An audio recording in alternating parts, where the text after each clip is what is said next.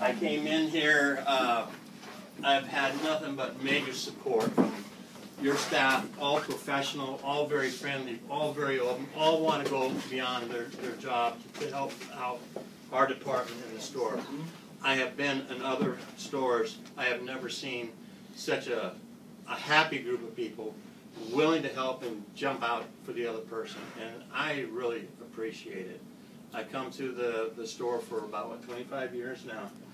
When I first came in, uh, shortly thereafter, about a year or two, Judy had come up and said something to me in the office next door. She says, you know, Gary, anytime somebody comes in the store, we kinda get our heads to the other ladies, and we decided they're a keeper.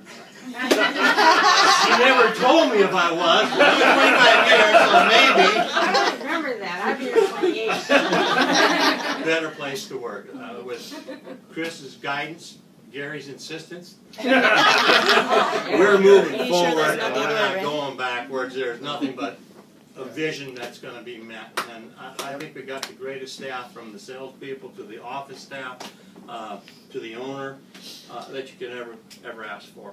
Um, Absolutely, there's- I agree. There's no better place to work. Absolutely. So you guys are all thank fortunate to you, work at this. Thanks, Gary, you need to cut, cut the cake, will you? Well, I was after about three or four years. Oh, yeah.